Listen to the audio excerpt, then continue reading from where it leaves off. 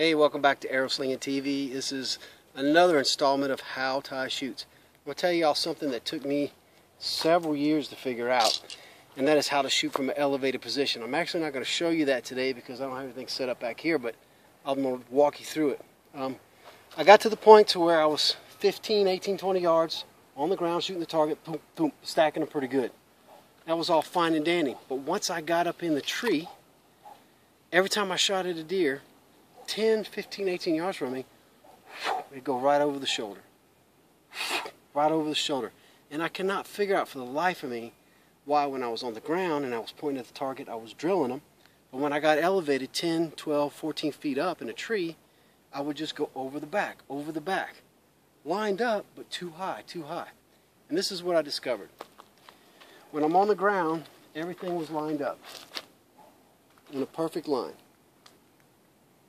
When I draw back, my elbow and arm is parallel with the arrow.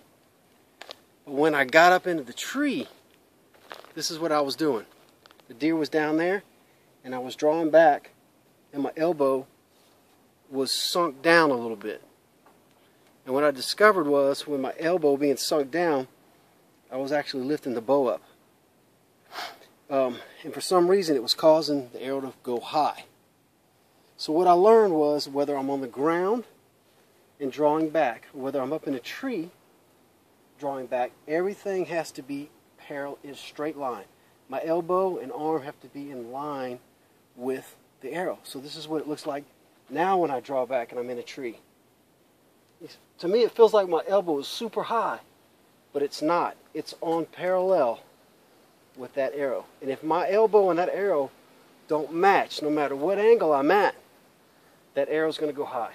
So when you're in a tree, focus on keeping that elbow high and parallel to that arrow, and it'll go where you shoot. If you don't, if you just pull back like you're on the ground, they're going to go up. So something that took me two or three years to figure it out. You got it right here on Arrow Slinging TV for free. Anyway, I'm Ty. We'll catch y'all next time. Tight groupings subscribe.